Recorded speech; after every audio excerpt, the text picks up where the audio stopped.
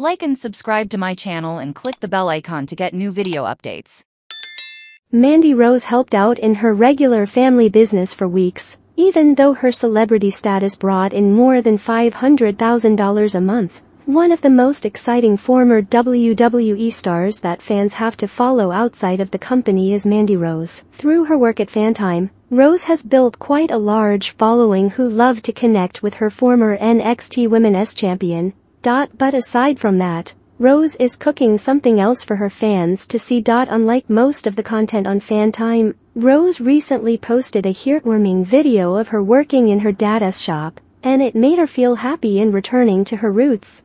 Mandy Rose posted a video on her Instagram, showing her father's deli, then Rose's brother interrupts him, and says they don't talk about Mandy Rose. Then we see the star enter the deli in slow motion, this leads to a scene where Rose enters the store with her hair tied back, and in a clerk's costume, and we see her doing simple tasks like stocking the aisles with produce, and cleaning the kitchen cabinets. Then we see Rose cleaning the deli, first with the broom and then with the mop, while she already has a well-paid gig and could return to wrestling at any time. Rose appears to have other plans in life. Coincidentally, this video is a lot closer than any wrestling ring or studio. In a recent interview, Rose spoke about the next step in her life after finding comfort at Fantime. She told the host about the feeling of spending more time with her family. She even said she is going to start a family, and that wrestling is a hectic business that makes it hard for people to focus on.